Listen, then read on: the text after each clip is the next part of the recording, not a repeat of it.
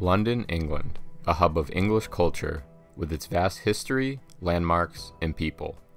Yet England has become synonymous with something that has captivated its people for centuries.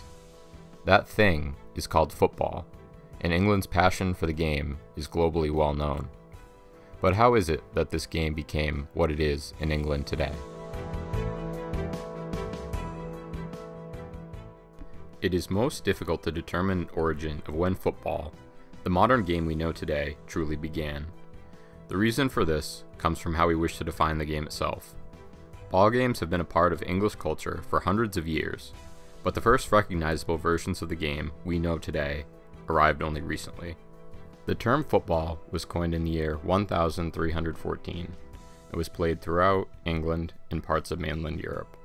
However, this football would only bear a slight resemblance to modern football. Each local area in England developed its own local game referred to as football, so that many versions of the game existed in this period. Football would be around in England in its different forms, but no substantial progress was made in the sport's development until the 1800s. Football was also divided because the aristocracy in England were able to send their children to schools where they would play organized football whereas children of commoners developed football as more of a street game until it was banned by Parliament in the Highway Act of 1835. The reason football developed in the 19th century is due in part to the Industrial Revolution taking hold in England at this time. Communication was at an all time high with the introduction of railways. The reason this acted as a catalyst in football's development is that the isolated versions of football began to meet when people from different areas would play together this was especially true at universities where boys needed to develop common rules in order to play together. This need for common rules also appeared when education became more accessible to commoners and organized football began to clash with the commoners' game in schools. Football clubs were also starting to pop up around England, but competition was difficult and required the two opposing sides to either come to a mutual agreement on the rules or to play two matches by each team's preferred set of rules. This need of unified rules became apparent to a group of London football clubs in 1863. This need would be the reason that the Football Association would be founded that very year.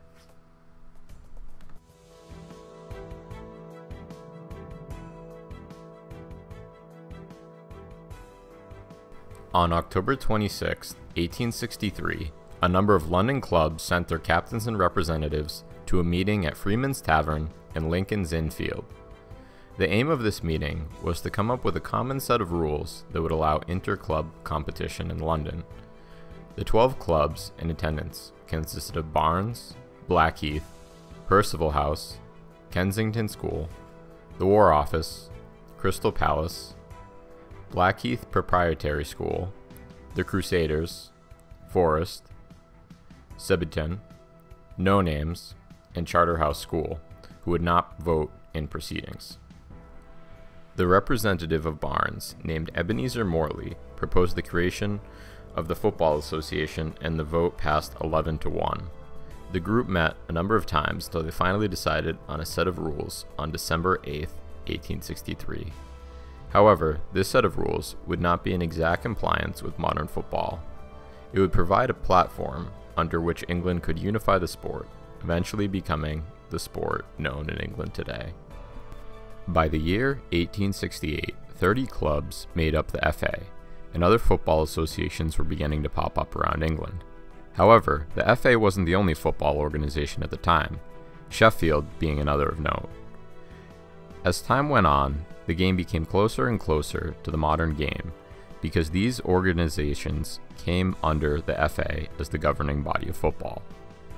By the 1880s, the FA had grown from a group of clubs to a group of local and county associations. One of the reasons the Football Association did so well in its early years was due to the creation of the FA Cup, a knockout style competition between football clubs.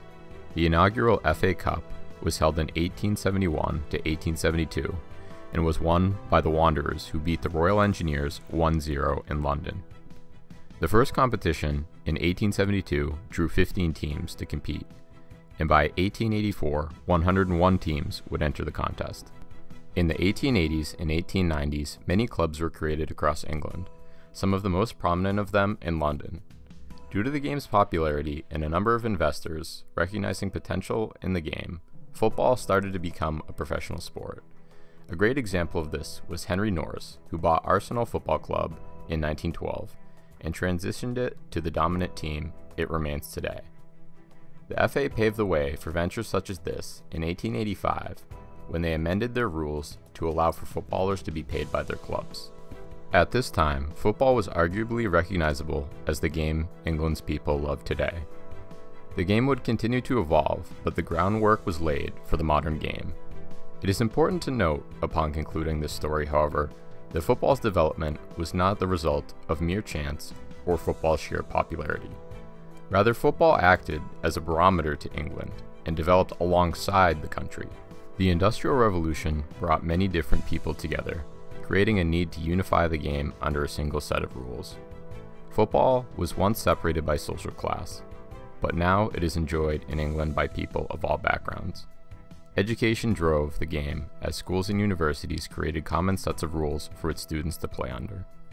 Football's development was caused by many different factors in England, and I came to realize that this only enriches the historical story as well as England's claim to football as their sport.